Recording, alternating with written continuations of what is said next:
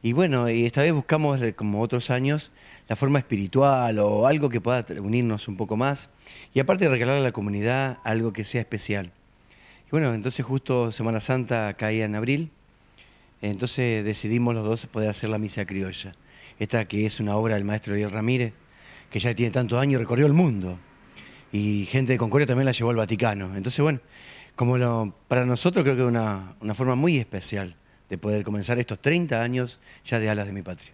Y bueno, hace ya un mes y medio que venimos trabajando con esto y la verdad, como te decía Daniel, una linda manera de comenzar porque imagínate que hace dos años que los escenarios y todo esto están un poco alejados y la virtualidad avanzó mucho en cuanto a lo que era la danza también.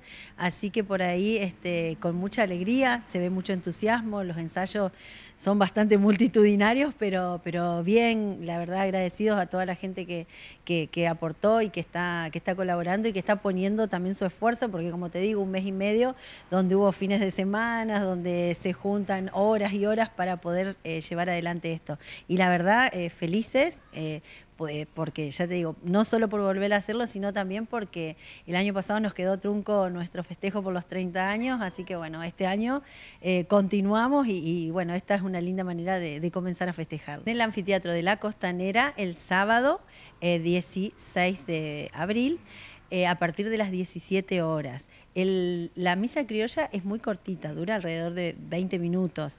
Eh, por eso antes se van a estar haciendo danzas y se va a estar comenzando eh, con esta movida. Pero en sí, la misa criolla es muy cortita, dura, ya te digo, unos 20 minutos. Entonces, los esperamos a todos que lleven su sillón, que lleven el mate para pasar una linda tarde, va a ser temprano.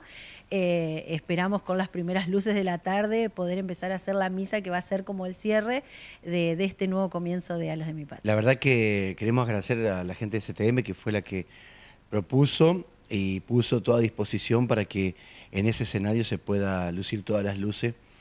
Y principalmente, como decimos nosotros cuando nos hablaron, eh, nosotros queríamos eh, de alguna forma a la comunidad brindarle esto y bueno, nos ubicó ese lugar tan especial que tiene ese escenario tan espectacular, donde cuando ya con los chicos nos ofrecieron ya era una cosa maravillosa. Así que, eh, y después, bueno, a todos los padres, todos los que están trabajando con nosotros, porque esto, cuando vean el sábado, que van a encontrar muchas sorpresas, eh, eh, no es, siempre decimos, trabajo de dos.